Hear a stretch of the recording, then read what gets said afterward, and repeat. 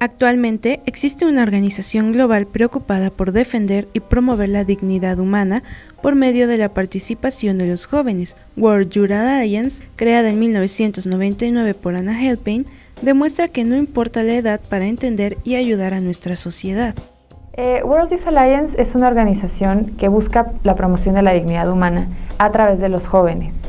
Eh, entrenamos a jóvenes para que tengan un impacto en política y en cultura promoviendo la dignidad humana.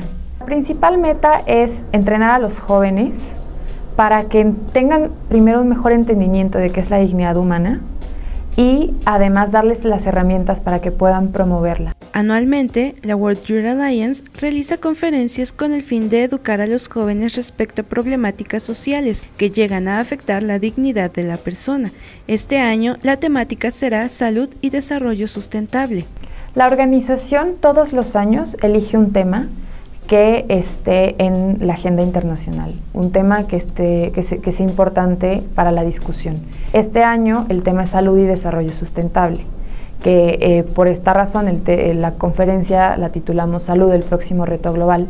La participación de los jóvenes en la toma de decisiones y su preocupación por defender la dignidad humana ha logrado grandes cambios alrededor del mundo, pero no basta con solo querer participar, es necesario estar bien informados.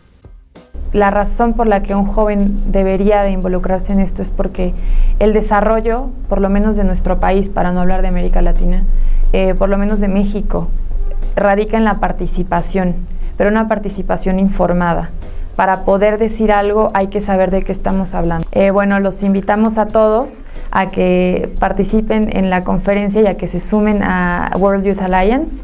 Los esperamos el 18 de octubre a las 3 en la Universidad de Anáhuac Norte, en el Auditorio de Rectoría. Para mayor información, eh, pueden inscribirse en www.wya.net o eh, bueno, escribirnos a latinamerika.wya.net.